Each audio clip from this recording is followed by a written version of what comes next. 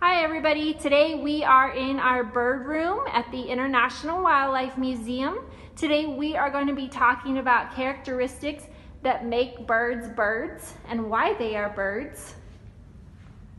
So here in our bird room we have a lot of different birds from all over the world. This guy is an extinct passenger pigeon.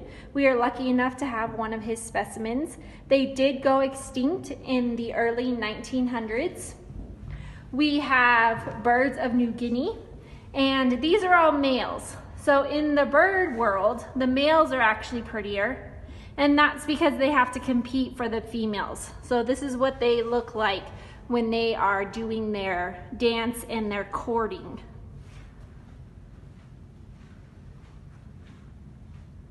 Hi there, there's, this is an ostrich and it runs 40 miles per hour. Hi, this is a dodo bird.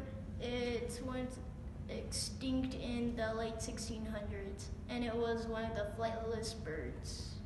Okay, so now let's think about what makes a bird a bird. What do they have to have? One of the characteristics is that they lay eggs.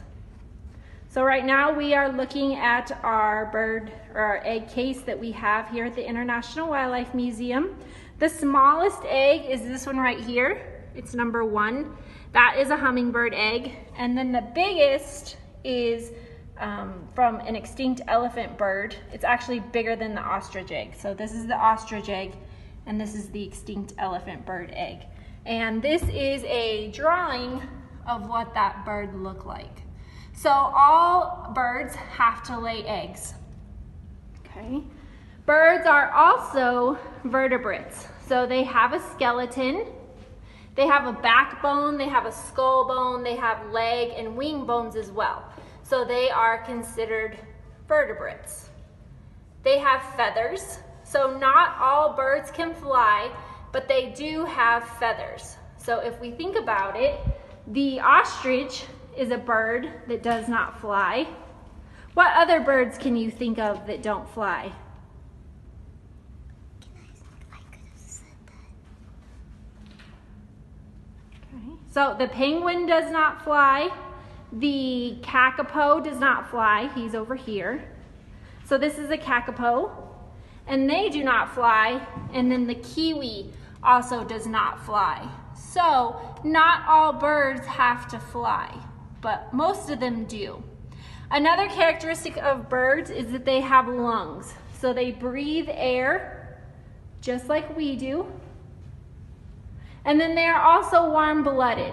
So their body temperature does not change with the temperature around them, but stays the same pretty much throughout the whole day.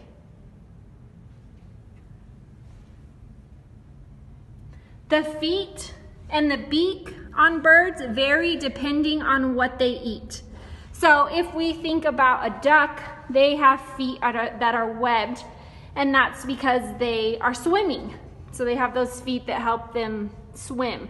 If we look at these guys up there, they have feet that are used for gripping and for grabbing. So feet and beaks vary depending on what the animal eats. Thanks for looking at our video today.